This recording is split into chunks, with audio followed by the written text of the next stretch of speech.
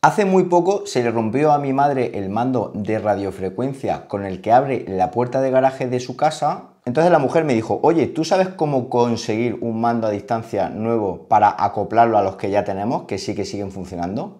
Y yo me dije, ¿y por qué no cambiamos de rumbo e instalamos esto que tengo aquí. Es un mando universal parecido a los mandos de infrarrojos que ya os he revisado aquí en el canal, pero un mando universal que en este caso también funciona por radiofrecuencia y que nos va a permitir abrir la puerta del garaje con el móvil sin ningún tipo de problema y además compartirlo con nuestros familiares tantas veces como queramos. Así que nada, si queréis saber cómo es este mando universal por radiofrecuencia, cómo se puede abrir la puerta del garaje con él con el móvil, no os perdáis el vídeo.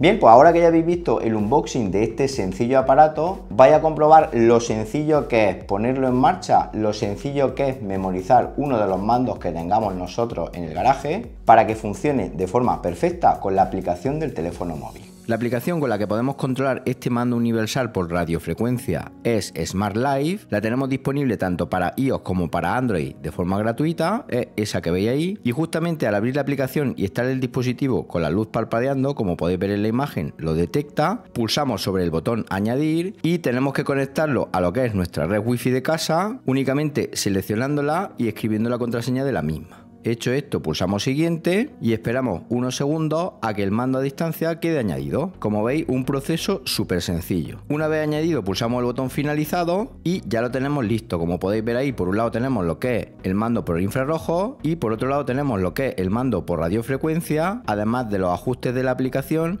mediante los cuales podemos actualizar de forma automática dicho dispositivo, cosa que es recomendable con el último firmware, crear grupos, etcétera. Ahora pulsamos sobre mando a distancia por infrarrojo y después pulsamos el botoncito en la parte superior derecha con forma de lápiz y le voy a cambiar el nombre porque tiene un nombre demasiado largo y poco identificativo y en mi caso le voy a poner mando garaje. Hecho esto, volvemos a la pantalla inicial, pulsamos sobre caja remota de radiofrecuencia y después pulsamos el botón agregar. Vamos a elegir el tipo, que en mi caso va a ser puerta retráctil, que es el más similar a la puerta de garaje que tengo en casa. Hecho esto, nos va a aparecer una plantilla de la que queremos personalizar. Yo en mi caso un único botón que se llama abierto, que es justo el que tenéis en la parte inferior derecha y para ello dejamos dicho botón durante unos segundos para pasar a memorizar el mando. Antes de seguir, comentar que sois muchos los que ven mis vídeos y no estáis suscritos al canal y es que una suscripción vuestra me ayuda muchísimo a seguir trayendo contenido como este para vosotros. No os cuesta nada, simplemente tenéis que localizar el botoncito suscribirse justo aquí debajo del vídeo y hacer clic sobre él. Y ahora sí, continuamos hablando del mando universal.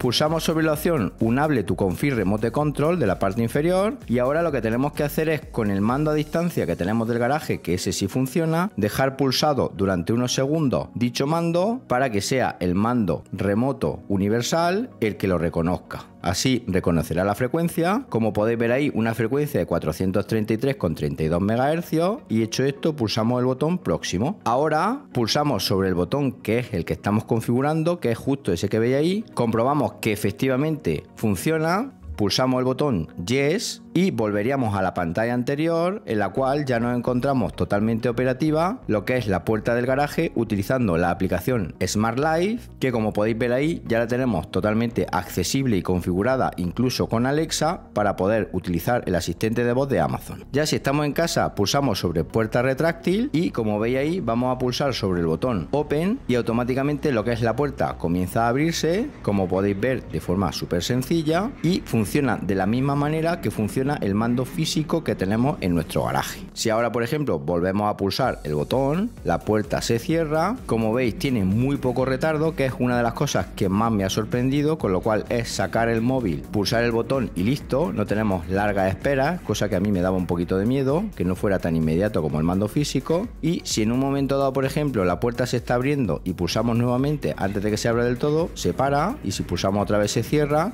es decir, tal y como funciona el mando físico de nuestra puerta.